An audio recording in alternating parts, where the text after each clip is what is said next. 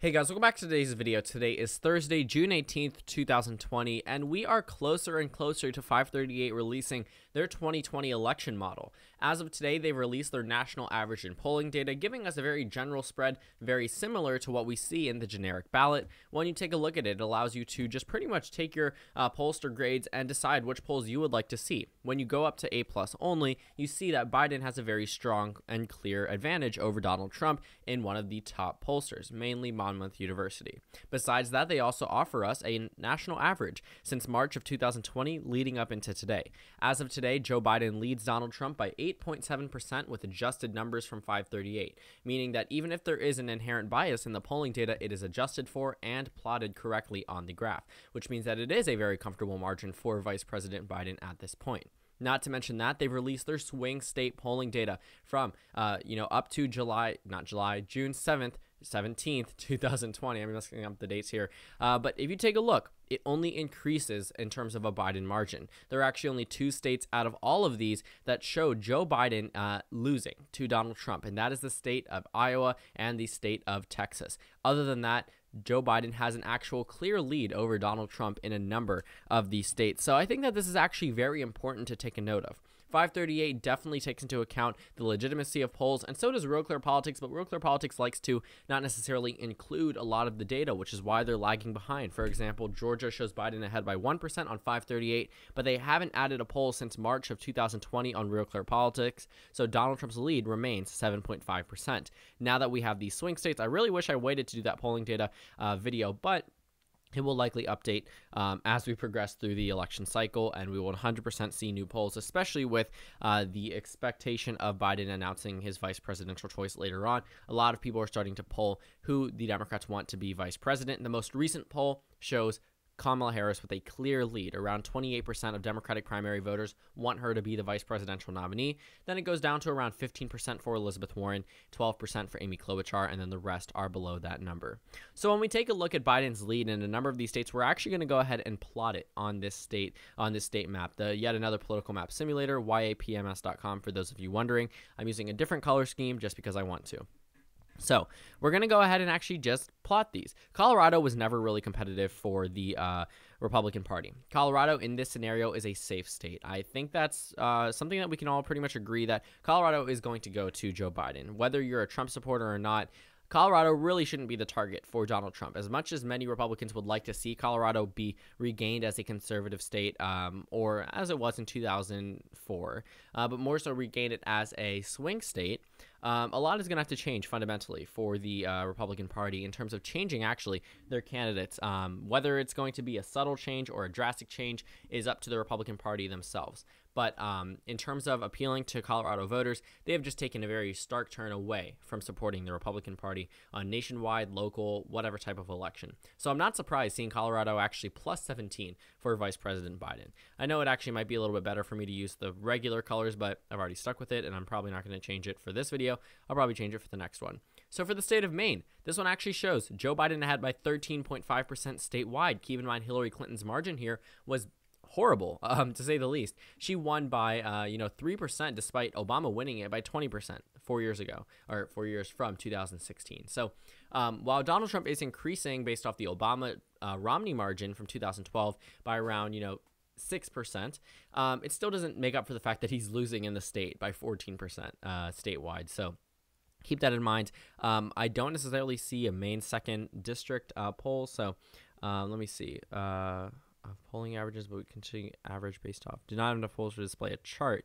Okay, so that's just, I don't think that they're saying anything about the congressional districts. So New Mexico shows Biden ahead by 13.3% as well. That's enough to characterize that state as well as uh, likely. I'm actually just going to move in the characterization for the uh, congressional districts because that's what the uh, map uses in terms of coloration. So I just want that to be there because I know some people are going to be like, you forgot to fill in Maine. Um, so Maine's just going to be characterized as that. Virginia, 10.6%. I mean, you cannot. I literally. Do I have anything open? Um, let me see. Oh, I got an email back on Outlook. I was like, what? Okay. Um, besides that, uh, Virginia, Maine. Let me just turn the volume down actually, so it gets rid of that. Um, Virginia and Colorado and New Mexico. These are all states that we pretty are pretty solid on understanding that Joe Biden will likely win them. Um, it's going to be very difficult for Donald Trump to win back states that he has pretty much pushed away, alienated, and that Hillary Clinton carried in 2016. Which means that in order for him to win here, he would have to improve off his 2016 margin, and it looks like he's not even going to improve in any single state based off his 2016 margins. In fact, a number of key Republican states are narrowing down. Not competitive, but not a 30 point margin, more so 17, 18% in certain states. When we take a look at Michigan, it actually is very surprising. They are outrunning the national numbers. They did not do that in 2016. Um, so the state of Michigan actually moves into the likely column for the Democratic Party. Uh, pretty comfortable margin, if you ask me. We're talking about uh, a state that went to Donald Trump in 2016, that uh, defied all expectations and went to the Republican Party for the first time um, in almost three decades, and uh, by 11,000 votes went to Donald Trump. But now Joe Biden seems to be carrying it by 10.2% statewide. So that is actually very important to note. The national average is 9.2%, so I'm sure that's just narrowly decreased from yesterday. Uh, but Nevada, that's an eight point margin. That is actually very substantial as well. Nevada was in play in 2016, it was in play in 2012, it was in play in 2008, it was in play in 2004, it was in play in 2000, not so much now. And the reason why, number one, Donald Trump doesn't improve amongst Latino voters. He loses that small amount that voted for him in the past uh, and doesn't, again, continues to decrease his base of support. While Donald Trump right now, he is the pretty much the only reason he's losing. He is single-handedly solidifying a death to his campaign. And that's just with his outspoken comments, and we've all seen it. The media will eat it up, regardless of what he says. It doesn't matter if it's, uh, you know, what he says. Anything he says that's um, I guess, doesn't unite the nation because we are in a very uh, tumultuous time, and we do need a call for unity, especially from the um, the Oval Office. But if Donald Trump is coming out there and, um, you know, what I would say, his campaign is intentionally trying to divide the nation. They did the same thing in 2016. That's not to say the Democrats don't do it too, but we're talking about Donald Trump here. You really should be, you know, actually, I think the issue a lot of the times with, um, focusing on a divisive campaign, that's exactly what the Hillary Clinton and Joe Biden uh, and Donald Trump campaigns did in 2016. That's the clear difference I see with the Biden campaign. A lot of it isn't necessarily built to divide. Um, you know, with Hillary Clinton's number of comments, um, you know, saying a basket of deplorables about half the country. A lot of comments like that do negatively reflect on your campaign and negatively reflect on what you believe those Americans to be. But when Joe Biden made that 10 to 15% comment, if you're labeling yourself as the 10 to 15% of Americans, you could very well be in that 85 to 90%. But if you are classifying yourself as that, that says a lot about you as a necessarily a person, not necessarily as much as as much as Joe Biden as a candidate.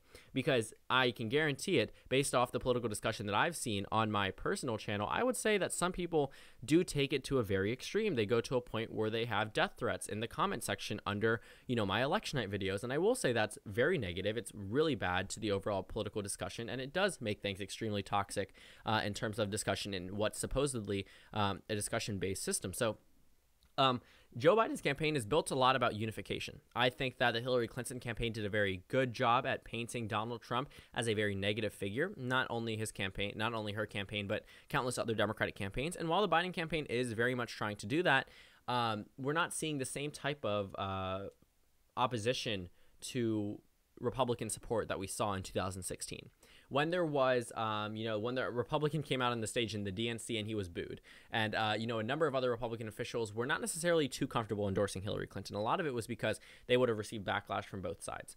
Um, and now a number of Democrats are starting to embrace the idea of senators such as Mitt Romney and uh, former uh, Republican officials that served in the House of Representatives or in the Senate or as a governor, whatever it might be. They are starting to, you know, the Biden campaign actually is rolling out a Republicans for Biden campaign late August. So that is probably going to be a big portion of uh, his uh, not necessarily support, but more so his focus, uh, convincing those Republicans on the fence that aren't necessarily too supportive of President Trump, that uh, voted for him in 2016 because Hillary Clinton was the only other option.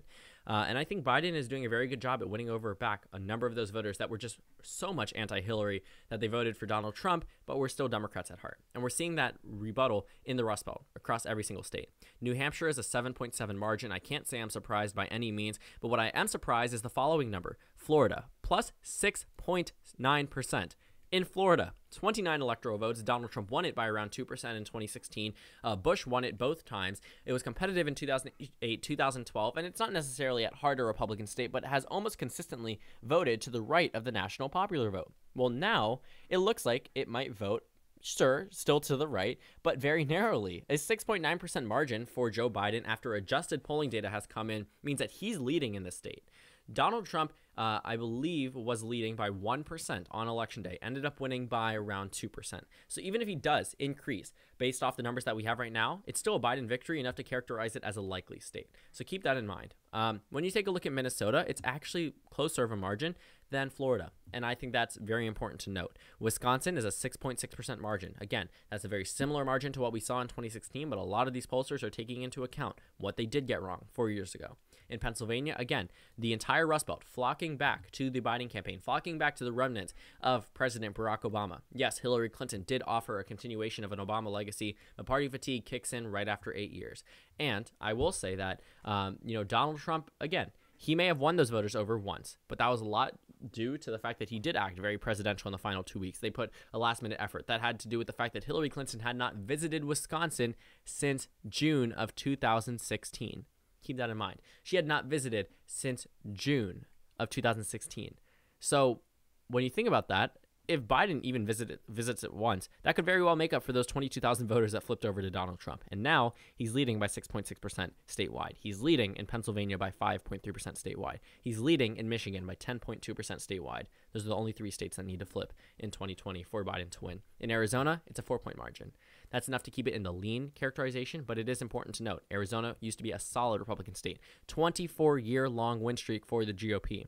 Could be a lot like those Rust Belt states and flip in this uh, surprising election. Colorado is plus 3% statewide. That is also surprising. Colorado did not vote for Obama in 2012. It voted for Trump in 2016 and was expected to go to Donald Trump in 2020. But now Joe Biden is the favorite. In Ohio, surprisingly, Joe Biden leads by 2.7%. This is a national bellwether state, almost always votes with the national uh, election winner. May not necessarily reflect the popular vote as it didn't in 2016, but has voted correctly with the winner for 60 plus years. So, Ohio, if it does go to Biden, based off these numbers, they will be continuing the streak for another four years. In Georgia, surprisingly, Biden has a very narrow lead. I wouldn't necessarily um, you know, I'll actually consider it tilt just because of the fact that it is a uh, 1% margin. Um, usually I would consider 1%, exactly 1%, uh, a lead margin, but I'm going to put it in tilt because Georgia um, is a very tricky state, and I'm surprised to see that. And I do think that it would. Um, it differentiate the fact that Georgia is not Ohio, it's not North Carolina, it's not Arizona. The margins in those states are a lot larger than a 1% margin in Georgia in comparison. So when we take a look at the states that go to Donald Trump, we have Iowa, we have Texas, but it's only a narrow margin. I mean, both of these states roughly voted for Trump by the same margin in 2016, um, which means that if they do narrow down this much, we could see a drastic pull away from Donald Trump. Almost a 10 point margin in Iowa. In fact, Iowa was larger than Texas in terms of a margin. I know I always, I always say that, but it needs to be said. I mean, Texas, the solid GOP state, now within a percentage point for Joe Biden. Iowa, what was a solid GOP state in 2016, now within a percentage point of uh, Biden. Uh, Arizona, Georgia, North Carolina, Florida, Ohio, Pennsylvania, Michigan, Wisconsin, all flips from 2016. The Biden campaign solidly holding on to Minnesota, Virginia, New Mexico, Colorado, Nevada, New Hampshire, Maine. Pretty much take any swing state from 2016. Biden's leading, except for Iowa and Texas. So that puts Donald Trump in a very bad predicament. When we fill in the rest of this map, which I'm not going to do because it's probably just going to waste time, but you can pretty much see how Joe Biden is the clear favorite to win the election. This is 350 electoral votes. This is literally exactly 350 electoral votes if this is the uh, map given to, um, no, actually more than that because Ohio is blue. So in this scenario, based off the numbers we have right now, Biden is decimating Donald Trump. We're seeing the likes of a 2008 margin in this election if these numbers hold on election day bad news for President Trump. So I'm really happy that 538 released these numbers. I'm really happy that they're giving us the overall uh, national data. I'm going to probably refer to this one instead of RCP just because they do adjust it and they do give you the option of taking a look at A, B, C rated pollsters. So I'm probably going to use that. Um, but that's pretty much it for this video. I'm going to be coming out later tonight with a subscriber decided election night. And then tomorrow I will be releasing the most likely states to flip to Donald Trump Spoiler alert, there aren't that many, but I will be ranking them based off uh, most likely to least likely to flip. But other than that, that's pretty much it for today's video. Thank you guys so much for watching this video. Uh, make sure to comment down suggestions below. Again, suggestions are everything. I really like seeing what you guys want me to do. Uh, the video I did last night was actually a suggestion, so uh, make sure you go ahead and get those out. Please consider subscribing if you haven't already and joining as a member on my channel. There should be a little subscribe button up on the screen right now with my little channel icon and also a video that you can watch. It's pretty much tailored to whatever your interests are on my channel. I have over, I have over a thousand videos, so you probably can go ahead and see those uh, if you want. And yeah, thank you all for watching this video, and I will see you all later today.